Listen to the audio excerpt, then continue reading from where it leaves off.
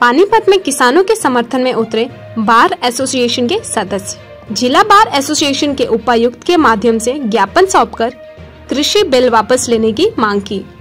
Bar association के प्रधान शेर सिंह खर्ब ने कहा, कृषि बिल नहीं है किसानों के हक में। बार एसोसिएशन ने कहा, पानीपत के सभी अधिवक्ता किसानों के साथ हर लड़ाई में देंगे सहयोग। बार एसोसिएशन का कोई भी सदस्य कृषि बिलों में खामियों बारे प्रधानों को नहीं बता सका। हमारे किसान आंदोलन चला हुआ है और दिल्ली में धरने पर बैठे हैं। इनकी मांगों को जायज़ ठहराते हुए बार एसोसिएशन ने डिस्ट्रिक्ट बार एसोसिएशन ने सर्वसम्मति से एक प्रस्ताव पास किया है कि जो हमारे किसानों की जायज़ मांगे हैं वो मंजूर की जाए। आप अधिवक्ता वर्ग से हो आपने कानून को पढ़ा होगा। कानून में क्या खामियाँ हैं कुछ उसके बाद प्रकाश डालो। जब उन कानून में खामियाँ हैं तो इसीलिए तो आंदोलन चला हुआ है और इस आंदोलन को देखते हुए इस पर जल्दी से जल्दी कार्रवाई करके इसके समस्या का समाधान करना चाहिए ताकि किसानों की समस्या दूर हो और ये देश प्रगति करे। सर नाम भी बता दो शेर सिंह प्रधान जिला बार एसोसिएशन पानीपत और अपना सामान लेगा था एक कुंटल दूध पाँच पचास किलो चीनी। और दो किलो चाय। कल अकेले गए थे दो साथी हम और दूसरी मैं आप तक अर्ज़ यूँ करूँ आपने सवाल पूछा है अकबर इसमें क्या दोष है? इसमें क्यों से मत बने आंदा आप भी पढ़े लिखे आदमी आप यो बता दो गुण के है इसमें। एक गुण बता दो हम इन विज्ञापन वापस ले लेंगे।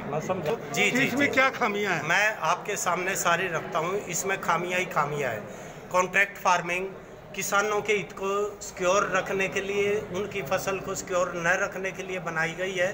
और कंपनी लॉ, में कॉरपोरेट लॉ, में आप कोई भी कानून उठा करके देख लो, कोई ऐसा क्लाज नहीं है कि भाई अगर फ़सल खराब होगी एक्ट ऑफ़ गॉड से, किसी, बारिश से या किसी तूफ़ान से, ओलावृष्टि से, उनके किसान के हित सिक्योर नहीं है, वो कॉन्ट्रैक्ट से बाउंड होगा। और कॉन्ट्रैक्ट का मुझे बताने की ज़रूरत नहीं। आप लोग अच्छे तरीके से जानते हैं। उसमें इंश्योरेंस का प्रोविज़न है सरकार मुआवजा देती है। इंश्योरेंस का तो ये अधूरा जी, जी, आप पूरी जानकारी दो। जहाँ तक इंश्योरेंस का प्रोविज़न है एमएसपी मिनिमम स्पोर्ट प्राइस और इस देश का दुर्भाग्य है कि जब एमएसपी जब रखी जाती है जब किसान की ज़मीन या जब किसान की फ़सल नीलाम होती है और नीलामी का मतलब है, कोई खरीदार नहीं होता तो सरकार सपोर्ट के लिए कहती है ताकि खेती हर वर्ग बचा रहे। और इस देश का एग्रीकल्चरिस्ट पचहत्तर प्रतिशत है। और वो एक देश के साधन संपादन का, स्रोत का और उसकी भौतिकी का, उपजाऊ का पचहत्तर प्रतिशत व्यक्ति एक शरीर में प्राण की तरह होता है। अगर उसके प्राण छीन लिए जाए तो देश की व्यवस्था चरमरा जाएगी। नाम बता दो सुरेश छोकर ताज़ा अपडेट्स व बड़ी खबरों के लिए सब्सक्राइब करें आज प्रकाश टीवी और बेल आइकन दबाना न भूलें।